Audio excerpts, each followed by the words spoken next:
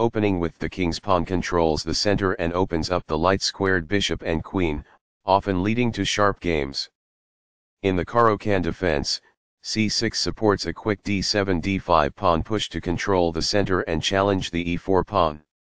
d4 grabs control of the center and attacks the e5 and c5 squares. d5 controls the center and attacks the e4 pawn. E5 closes the center and controls the important d6 and f6 squares. c5 moves the same pawn twice in the first three moves, but it takes more space in the center and attacks the d4 pawn.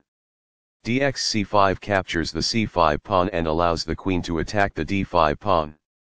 This reveals an attack on a pawn. That was a free pawn. It is the last book move. This activates a queen by developing it off of its starting square. This threatens to attack a trapped rook. It is good. This overlooks an opportunity to develop a knight off its starting square. It is a mistake.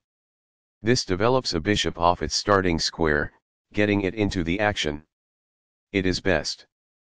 This activates a knight by developing it off of its starting square. It is excellent. This defends the attacked pawn. It is best. The game was close to balanced, but now black is worse. It is an inaccuracy. There was only one good move in that position. This overlooks a better way to add a defender to a vulnerable pawn. It is a mistake. Only one move worked there, and this wasn't it? This ignores an opportunity to threaten winning a pawn. It is a miss. The game is still close to equal, but white lost their advantage. It is an inaccuracy. This ignores an opportunity to develop a rook off its starting square. It is an inaccuracy. This moves the queen to safety. It is best. Castling develops a rook, while also getting the king to safety. By castling to the opposite side of the board as the opponent, the game will tend to be more double-edged. It is good. The rooks can see each other now, allowing them to provide mutual defense. This threatens to win a pawn. It is best. That's fine. It is good. This captures a vulnerable pawn. It is best.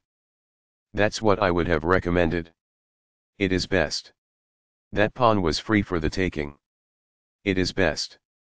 This allows the opponent to kick a bishop. It is a mistake.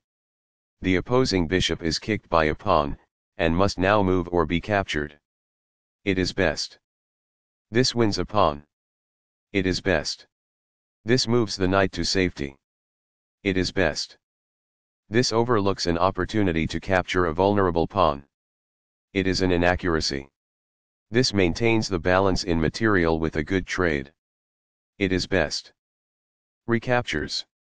It is best. This protects the attacked pawn. It is best.